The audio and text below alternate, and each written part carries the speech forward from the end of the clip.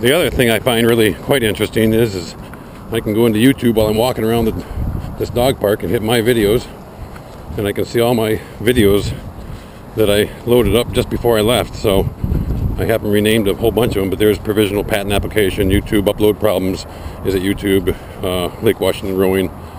And then, so these are my ones that have been loading while I'm out walking. So I'll just go home and I'll do, name them, etc. And uh, whip them together